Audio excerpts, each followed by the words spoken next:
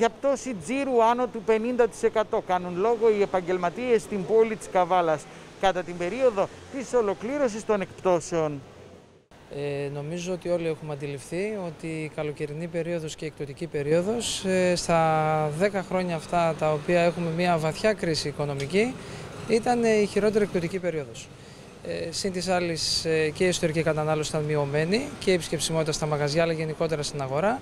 Αλλά το κυρίαρχο ήταν ότι το τουριστικό προϊόν δεν ήρθε ποτέ. Ακόμα και όταν ε, για λίγο πολύ μικρό χρονικό διάστημα ανοίξανε τα σύνορα, ήταν πολύ μικρή η κίνηση, αλλά μετέπειτα εφόσον έκλεισαν κιόλας, νομίζω ότι χάθηκε ένα τεράστιο εισόδημα, το οποίο βέβαια δεν είμαστε εμείς οι ειδικοί γιατροί, λοιμοξιολόγοι για να ξέρουμε το πώς πρέπει να, χειριστεί, να χειριστούμε την κατάσταση όσον αφορά τον τομέα υγείας. Εμείς αυτό που μπορούμε και γνωρίζουμε πάρα πολύ καλύτερα και από τους γιατρούς είναι τον τομέα της οικονομίας και νομίζω ότι η υγεία των επιχειρήσεων ε, το πλήγμα το οποίο έχουν δεχθεί οι επιχειρήσεις είναι ανεπανόρθωτο και νομίζω ότι στην παρούσα φάση, εφόσον δεν έγινε τίποτα στους προηγούμενους τρεις μήνες για να μπορεί να διασωθεί η μικρομεσαία ελληνική επιχείρηση, νομίζω ότι τώρα πλέον μπορεί και να είναι αργά και ήδη από συζητήσεις και από κουβέντες οι οποίες γίνονται μεταξύ των εμπόρων, αλλά και σαν πρόεδρος του Εμπορικού Συλλόγου, μπορώ να έχω μια αντίληψη πολύ γενική αλλά και πάρα πολύ ειδική, θα έλεγα. Ε, οφείλω να ομολογήσω ότι το πρόβλημα θα είναι μετά το Σεπτέμβριο πολύ μεγαλύτερο. Ενώ πέρσι την ίδια εποχή είχαμε ένα τρίμηνο το οποίο ήταν Ιούνιος, Ιούλιος, Αύγουστος πάρα πολύ καλό.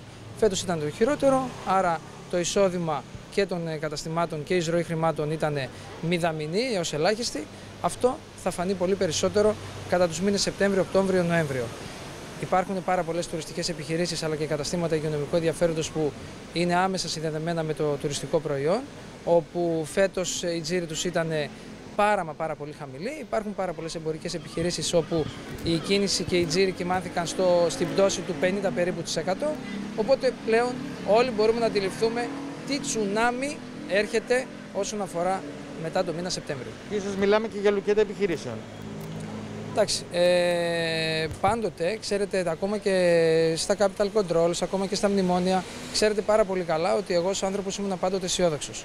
Αλλά αυτή η κατάσταση η οποία δεν έχει προηγούμενο, είτε μετά το κλείσιμο το δίμηνο το Μάρτιο με τον Απρίλιο, είτε μετά το άνοιγμα την πτώση του τζίρου και την, την ελάχιστη επισκεψιμότητα στα καταστήματά μας, νομίζω ότι πλέον δεν υπάρχει έστω και μια ηλιακτή αισιοδοξίας. Συν της άλλης, θα πρέπει να αναλογιστούμε ότι υπάρχουν κάποια σχεδόν όλα τα τραπεζικά ιδρύματα τα οποία είναι απέναντι στην επιχειρηματικότητα, βοήθησαν ελάχιστους για να δώσουν πολλά λεφτά σε πολύ λίγους οι οποίοι τελικά δεν τα είχαν ανάγκη και συνομιλώντας με πάρα πολλούς ανθρώπους σαν αυτούς που δέχτηκαν πλήστα τηλέφωνα ούτως ώστε να πάνε να πάρουν τα χρήματα αυτά είτε από το ΤΕΠΙΧ είτε από το ΕΤΕΑΝ, τα οποία τα έχουν και κάθονται στην άκρη και δεν τα χρησιμοποιούν, άρα δεν πήγανε στην πραγματική οικονομία, άρα η επιχειρηματικότητα δεν βοηθήθηκε από τα δύο δίθεν θα πω εγώ χρηματοδοτικά εργαλεία.